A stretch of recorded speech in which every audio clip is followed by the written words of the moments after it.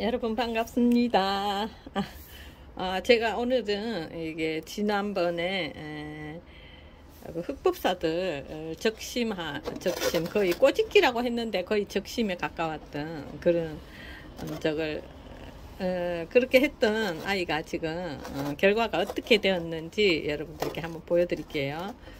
이렇게 하나 나온 애들도 있고 두 개 나온 애들도 있어요.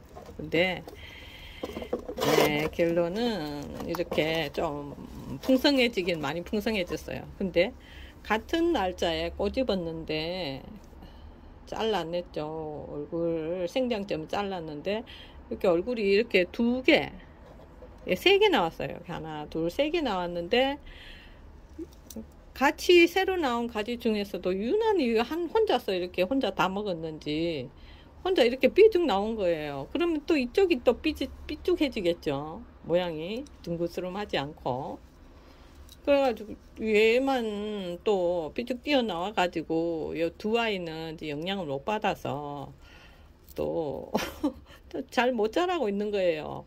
지난번에 제가 유난히 튀어나온 아이 하나 모난 돌이 정 맞는다고 하나 잘라낸 적이 있었거든요. 어, 지금 또 어, 본 김에 또 하나 다시 한번 제적심 제적심이 들어갑니다. 아 이렇게 잘라내고요. 너무 막 자기 혼자서 다 먹으면 안 된다는 결론이죠. 나눠 먹어야 돼요. 아, 그렇게 많이 풍성해졌죠. 이 아이도 그래요. 이 아이도 조금 할 때부터 제가 이제 꼬집었는데 아, 이 아이 여기 두개 나왔잖아요. 두 개 나왔는데 이 아이만 얼굴이 이게 대빵만해지게 크게 크는 거예요. 또 얘는 또 기운을 못 쓰는 거죠. 얘가 다 먹어버리니까. 그래서 또 또 한 번 더 자릅니다. 또 꼬집은데 또 또 꼬집 꼬집는 거예요. 아, 좀 독한 엄마라 할줄 모르겠지만 얘는 또 풀이 내릴 수 있을 정도의 사이즈가 됐으니까. 봐봐. 또 뿌리 내려 볼게요. 여기도 마찬가지로 여기 이게 요렇게 하나 이렇게 두 개 나왔어요. 두 개 나왔는데 얘만 독불 장군이라고 어, 막 자라는 거예요. 그래서 제가 요 얘는 여기만 음, 꼬집었어요. 여기 여기만 꼬집어 꼬집었거든요. 어, 적당히 좀 밸런스가 맞아야지 하나만 튀어나오고 그러면 안 되잖아요. 그래서 얘도 이제 여기 잘랐으니까 좀 좀 더 균형 있게 자랄 수 있겠죠. 아주 못살게 굽니다.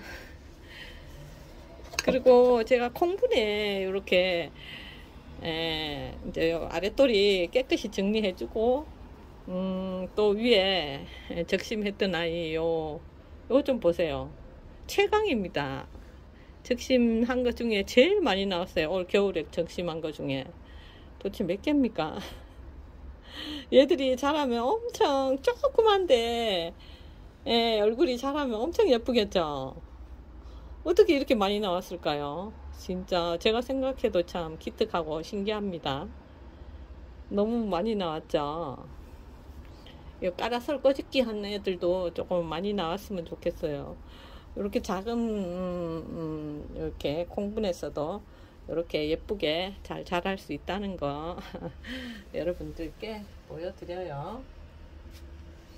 요것도 위에 이제 애들 어, 적심해서 뿌리 내린 애를 키운 거예요. 그래서 아랫돌이 벗겨서 외목대 형성하는 거 전번에 영상 찍은 거 있거든요.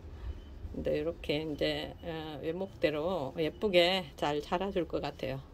너무 귀엽죠? 어쩜 이렇게 많이 나왔을까요? 아, 이 아이는 기특하다고 진짜 쓰담쓰담 해주고 있습니다.